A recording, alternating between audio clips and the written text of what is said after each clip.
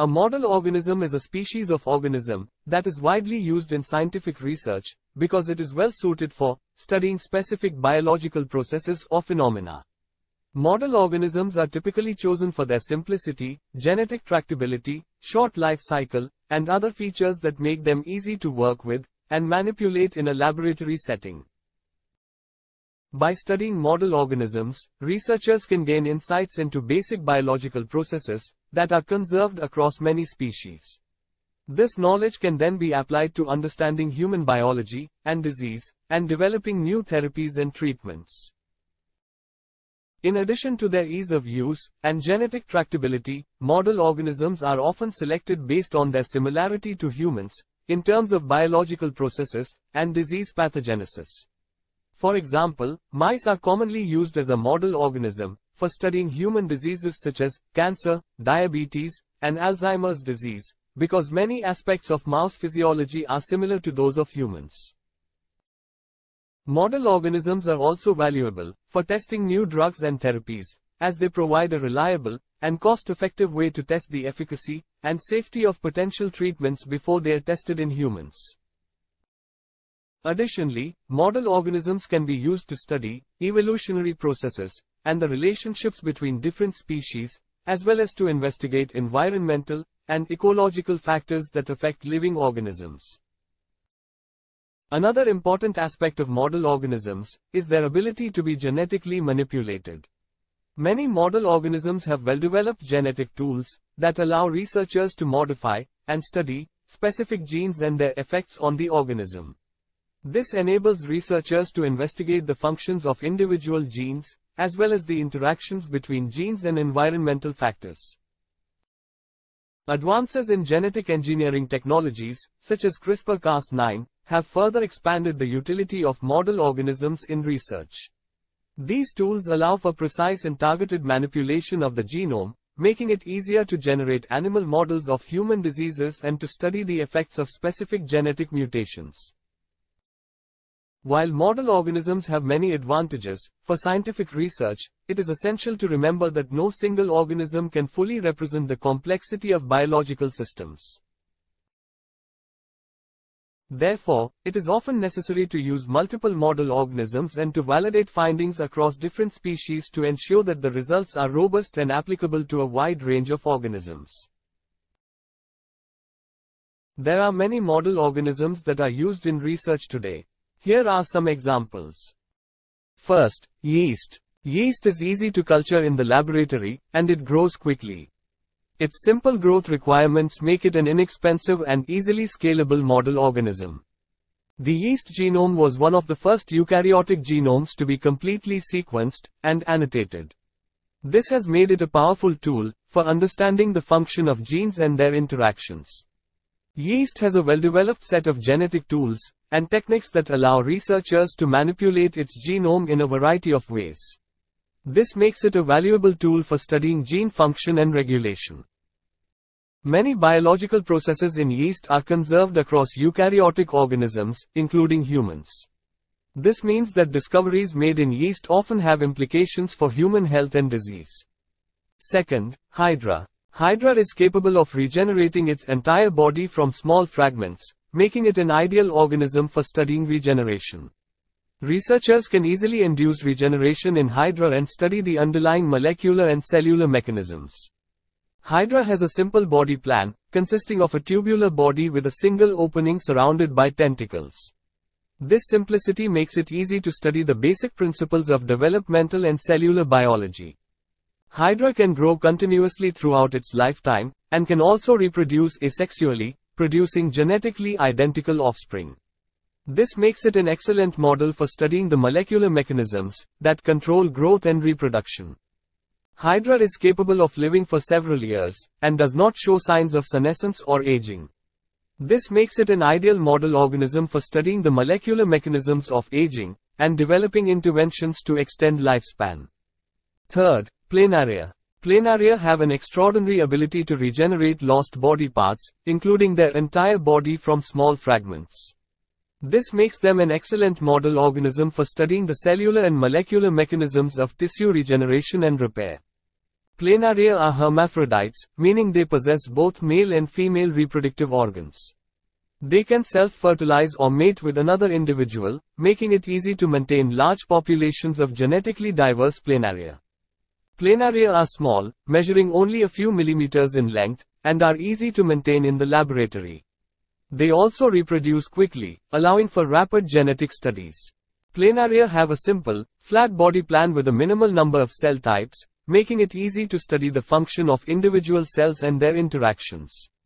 Fourth, C. elegans. C. elegans has a relatively simple anatomy with only 959 somatic cells, which makes it an ideal organism for studying cell biology and development. C. elegans has a short life cycle of only 2 to 3 weeks, which allows researchers to study several generations in a relatively short amount of time. C. elegans has a well-defined genome and a large number of genetic tools and techniques that make it easy to manipulate its genes and study their effects. C. elegans is transparent, which means that researchers can visualize its internal organs and tissues under a microscope, making it easy to study its anatomy and physiology. Many of the biological processes that are important in C. elegans, such as development, aging, and apoptosis, are conserved across species, including humans. Therefore, research in C. elegans can help us understand these processes in humans. Fifth, fruit flies or Drosophila. Fruit flies have a relatively short life cycle, with a generation time of about 10 to 14 days. This allows researchers to study multiple generations in a short period, which makes it possible to conduct experiments and observe the results quickly. Female fruit flies can lay hundreds of eggs in their lifetime, and their offspring develop rapidly. This means that researchers can obtain a large number of experimental subjects with similar genetics, which makes it easier to conduct experiments and obtain statistically significant results. Fruit flies are relatively easy to keep in the laboratory. They are small, do not require much space, and can be fed on simple diets. The fruit fly genome is well studied. This allows researchers to study the effects of genetic mutations and variations in a relatively simple organism. Eating, sleeping, and mating patterns are the same between Drosophila and human. So it helps to understand the behavior in humans by studying Drosophila genetics. Sixth, Xenopus laevis or African clawed frog. Xenopus laevis produces large and easily accessible embryos, which are ideal for studying early development. The embryos can be easily manipulated, observed and injected with various substances, making them a valuable tool for studying gene function and developmental processes. The Xenopus laevis genome has been fully sequenced, providing researchers with a comprehensive understanding of its genetic makeup. This has facilitated the identification and study of specific genes and their functions.